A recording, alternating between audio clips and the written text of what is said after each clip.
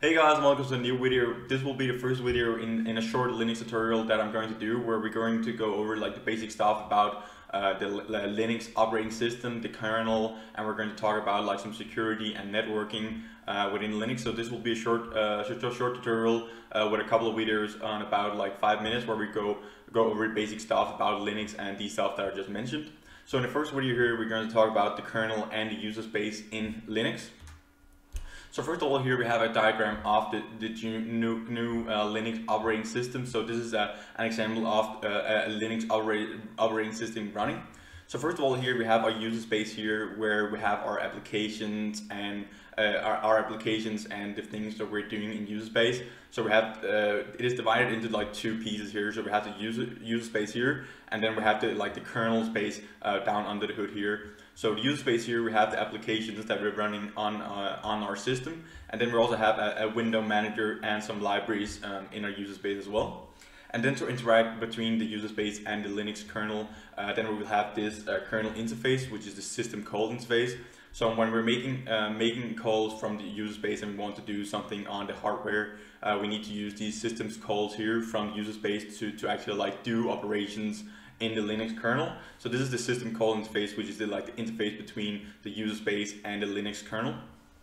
And then we have some process management down here. So like we are, we are going to like manage how the processes are are executed uh, on the on the on the hardware and, and stuff like that inside of the Linux kernel. So it will it will it will do the process management uh, by executing the processes with some kind of scheduler.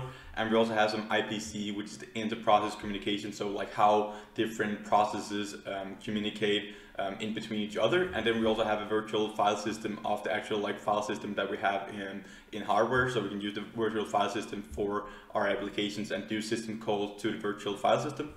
And then we also have some memory management. So uh, the Linux kernel uh, will take care of the, the, memory management of the applications and the processes running in the Linux kernel. And then we also have some network subsystems. So if you just want to have some like networking, uh, it also happens in the Linux kernel. And we have some, some security over here as well in the kernel.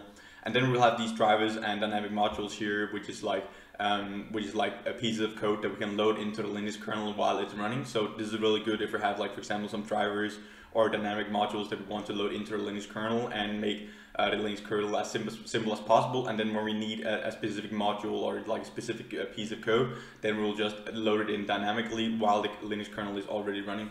And then we have some our, our architecture dependent code before we can go down here to the hardware, uh, where we have to process the architecture here. So we have the user space, which is talking to the Linux kernel here by with the system interface, and then the Linux kernel actually like uh, do the operations on the hardware. So this is an example of a system call. So we have a user program here that is running in, in the Linux operating system here. And then we have uh, this write command here, where, which we call from a user program.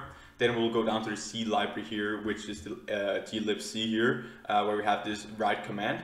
And then this will call, uh, this will be a system call uh, to the Linux kernel. So we go from the user space to the kernel space. And then we have like a table that we can look up with the system calls um, in the kernel down here. So we can see that in this case, we want to write uh, to something from this user program. So we'll use this syswrite command here, uh, which is the system call command, that will be executed um, in the kernel. And then that write command will actually like do something uh, with the hardware from the kernel. So the last thing here we're going to talk about is, is modules because like what is a module and, and what, how, how is it used in Linux? So a module as we're already talked about like it's a piece of code or like some kind of driver um, that we I like want to like statically compile into our our kernel, or we want to have it as a module that can that can be like loaded in when it's needed. So down here we have these user applications that are running, um, which is talking to the Linux kernel, uh, which system calls, and then the Linux kernel is talking to the hardware.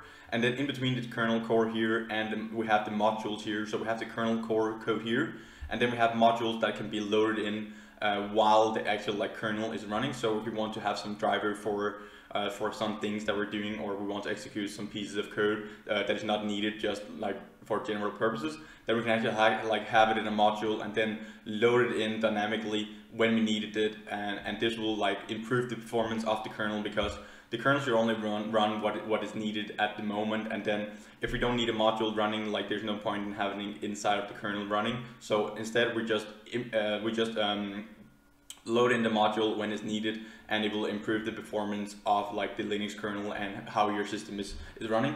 So that's just a very short video here where we've been over like uh, the operating system of Linux and some modules and an example of a system call. So thank you guys for watching this video and remember to the subscribe button under the video here and also the bell notification. And also like this video here if you like the content and you want more in future. It really helps me and the YouTube channel out in a massive way. So thank you guys for watching. See you in the next one.